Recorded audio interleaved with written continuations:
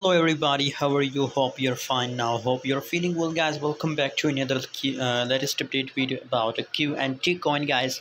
In today's video, I'm talking about the price prediction, uh, next move of QNT coin. That what will be the next move, and absolutely.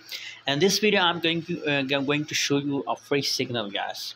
So absolutely, if you follow, you will make a handsome profit uh, without any risk, guys so let's start the video but if you are new to my channel please make sure to hit the subscribe button and also press the bell icon for any videos notification guys.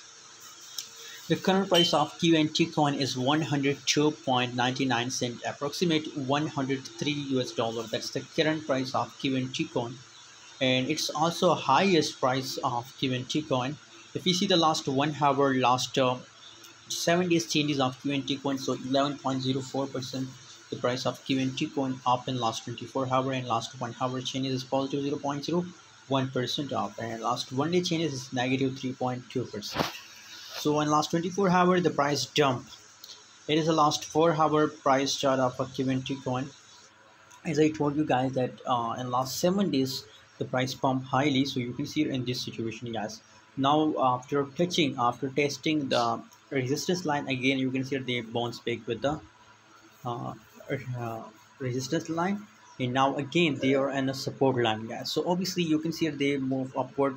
And again now again they uh, test the support line guys. So you can see in this situation guys a lot of possibilities for QNT coin to break the uh, to make a breakdown of support guys. So obviously if they break the support level in this situation guys maybe uh, the price of QNT coin will dump highly guys as I show you guys in the start of video, the price of QNT coin is 102.99 cent and now you can see uh, the price is 79 guys. So that's mean that now it's jumping guys. So if they break the support level in this situation, it will jump very badly guys. So this that's why I recommend for my audience that just wait for a while after confirm a breakdown then I recommend for my audience that open a position guys. Thanks for watching. See you in next video.